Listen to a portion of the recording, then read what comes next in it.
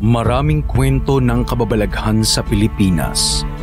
Isa dito ang tungkol sa mga mythical creatures o misteryosong nilalang tulad ng aswang, ikbalang, manananggal at engkanto. Sa halos lahat ng probinsya sa bansa ay may kanya-kanyang kwento tungkol sa mga misteryosong nilalang. Iba't iba man ang paglalarawan, ngunit nagtutugma pa rin ang mga tinutukoy na nilalang. Ang mga kwento tungkol sa mga misteryosong nilalang ay mula pa sa ating mga ninuno. Ang paniniwala sa mga misteryosong nilalang ay tinatawag na anitism o ancestral religion. Dito sa Pilipinas, mayroong higit isang daang tribo na may kanya-kanyang kwentong bayan. Madalas, mga matatanda ang nagkukwento tungkol sa mga karanasan sa misteryosong nilalang. Ang kanilang mga kwento ay pinagpapasapasahan na din ng ilang henerasyon. Kadalasan ay ginagamit ang kanilang mga kwento bilang panakot sa mga bata upang wag maglaro sa dilim o sa mga kagubatan. Totoo man o hindi, epektibo naman ito sa pagdidisiplina ng mga bata. Hanggang ngayon, naniniwala pa din ang mga Pilipino sa mga misteryosong nilalang, lalo na sa mga probinsya. Sa lalawigan ng Palawan, matatagpuan ang grupo ng mga tagbanwa. Ang mga tagbanwa ay pinaniniwala ang nagmula sa Tabunman. Ang Tabunman ay ang sinaunang taong nanirahan sa Pilipinas mahigit 16,500 years na ang nakalilipas. Ang mga buto at ibang kagamitan ng mga tabunman ay nadiskubre sa isang kuweba sa Palawan. Nakatira ang mga tagbanwa sa isang isla sa Palawan. Nakatago ang isla at hindi ito mahahanap sa mga mapa at linilimitahan ang pagpasok ng mga turista sa lugar.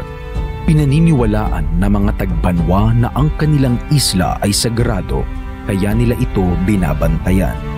Sa katunayan, hindi nasakop ang isla ng tagbanwa ng mga Espanyol, Hapon at Amerikano. Payapa silang naninirahan sa kanilang isla at nagsimulang makipag-ugnayan lamang sa ibang isla nitong 20th century. Ang mga tagbanwa ay may sariling lengguwahe, relihiyon at paraan ng pamumuhay.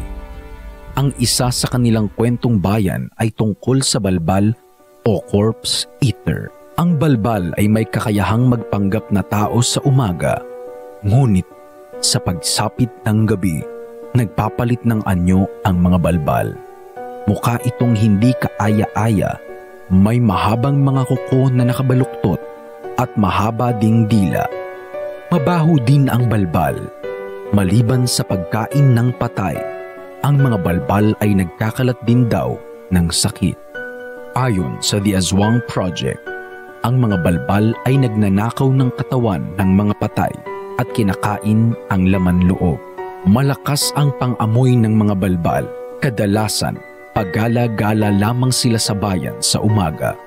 Sa gabi, lumilipad ang mga balbal at naghahanap ng mga taong malapit ng mamatay. Tutuntong sa bubong ang balbal at bubutasin ang bubong ng bahay upang makapasok. Kung hindi, magtatago ito sa ilalim ng bahay at maghihintay ng pagkakataon. Gamit ang mahabang dila, hihigupin ng balbal ang natitirang buhay ng biktima hanggang sa mamatay ito. Pagkatapos kainin ng balbal ang laman ng kanyang biktima, papalitan niya ng puno ng saging ang katawan nito. Hindi mahahalata na napalitan ang katawan ng biktima malalaman lamang na ito ay puno ng saging dahil wala na itong fingerprints. Kung nailibing na ang patay, pupuntahan ito ng balbal sa gabi at huhukay gamit ang mahahabang puko. Kung walang mahanap na patay ang balbal, maghahanap ito ng mga buntis at kakainin ang bata sa loob ng kanilang mga tiyan. Ang mga balbal ay hinahawig sa mga aswang at manananggal dahil sa anyo nila. Sa ibang probinsya, sila ay tinuturing na uri ng aswang. Ang mga taga Bicol ay may paniniwala tungkol sa mga balbal.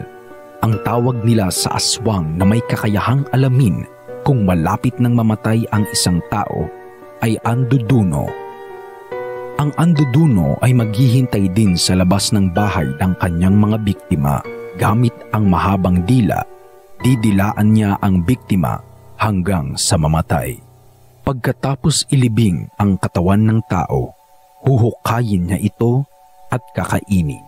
Sa Eastern Visayas, ang mga balbal ay tinatawag na aswang na lipad. Mukhang tao ang mga aswang na ito at walang pakpak. Lumulutang sila sa kalangitan sa tulong ng hangin. Ngunit hindi kinakain ng mga aswang na lipad ang buong katawan ng patay.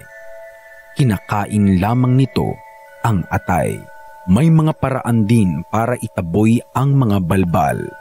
Sa Palawan, naglalagay sila ng baging o vines sa paligid ng bahay. Kapag nakita ng balbal, iisipin niyang ito ay mga ahas kaya hindi na ito papasok sa bahay.